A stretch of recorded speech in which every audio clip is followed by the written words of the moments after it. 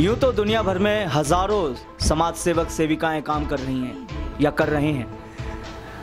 मगर उनमें से बहुत से ऐसे हैं जिन्होंने समाज के लिए बहुत कुछ किया है, मगर वो लाइमलाइट में नहीं आ पाते।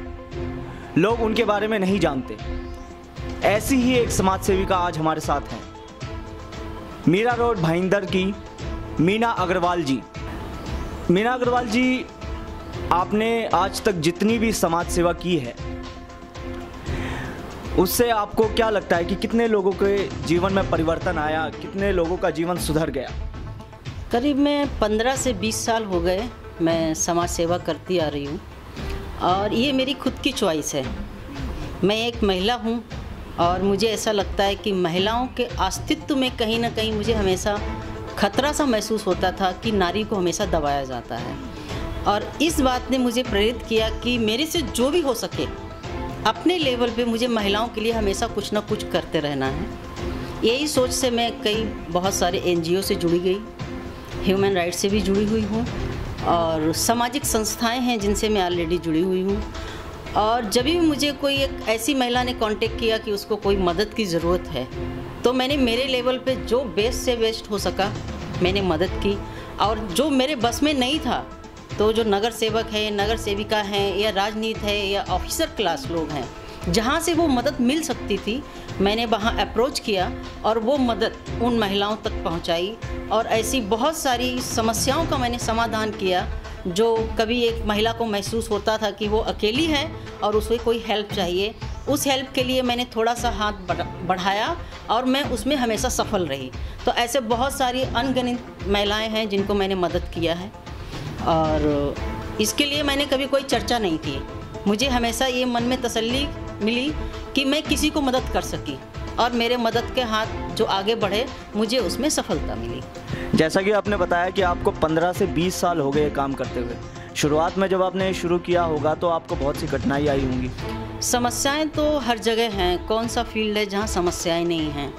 लेकिन समस्याएँ अगर सोच के इंसान रुक जाए तो वो कैसे आगे बढ़ेगा? जब किसी रास्ते पे आप चलते हैं तो उसमें कंकड़ आते हैं। तो उन चंद कंकड़ों की वजह से इंसान रास्ता नहीं बदल सकता। बस यही सोचता है कि वो कंकड़ बचा के निकल जाए या कंकड़ को हटा दे उस रास्ते से और आगे बढ़े। बस मेरी इसी सोच ने मुझे हमेशा आगे बढ़ाया इनक्रेज किया। अगर कोई छोटे मोटे कंकड़ मेरी रास्ते में आए तो मैंने उनको साइड किया। या मैं, मुझे लगा कि मैं नहीं हटा सकती तो मैं उससे रास्ता बचा के निकल गई, लेकिन मैंने अपने सफ़र को हमेशा तय किया। जैसा कि आपने बताया कि आप बहुत से सोशल संस्थाएँ सबसे जुड़ी हुई हैं तो आपको कभी किसी एमएलए या पॉलिटिकल पार्टी का सपोर्ट मिला ये सब सही काम करने के लिए? मैंने एक राजनीतिक एंगल से कभी सोचा नहीं बट मुझे जब को, कोई भी काम पड़ता है तो हम मैं जहाँ मीरा भाईंदर में रहती हूँ कोई एमएलए हो या जो भी राजनेता हैं राजनीतिक पार्टी के किसी के पास भी जाती हूँ मुझे ज़रूर मदद मिल जाती है। यहाँ का माहौल बहुत अच्छा है मीरा भाईंदर का और कोई भी महिला को लेके जाती हूँ या किसी दूसरे काम के लिए जाती हूँ तो मदद के लिए मुझे कहीं से इनकार नहीं हुआ। जो मदद चाहिए थी हमेशा मुझे मिल गई। तो इस वक्त आप कितने एनजीओ से जुड़ी हुई हैं या कितने सामाजिक संस्थाओं से जुड़ी हुई हैं? काफ़ी हैं जिसमें बेटी बचाओ बेटी पढ़ाओ कन्यादान है और मेरी खुद की एक संस्था है अस्तित्व जिसको मैं अभी आगे बढ़ाऊँगी।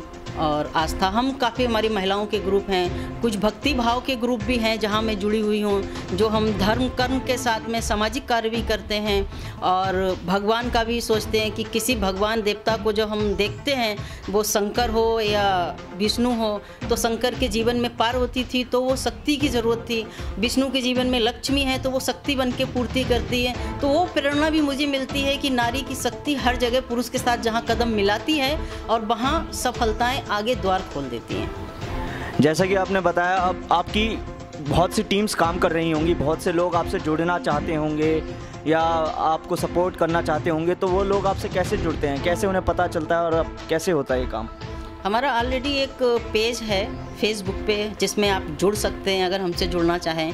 किसी की इच्छा है हमारे साथ काम करने की जुड़ने की तो हमारे पेज को लाइक करें या हमारे पेज पे हमको कांटेक्ट करेंगे तो आप हम तक पहुँच सकते हैं। या आपकी कोई ऐसी ज़रूरत या आपका ऐसा कोई काम जो हम कर सकें जिसमें हमारी मदद लगती हो, हम आपको कोई मदद कर सकें तो हमारी फेसबुक पे आप ज्वाइन हो सकते हैं। मीना अग्रवाल जी बहुत बहुत धन्यवाद।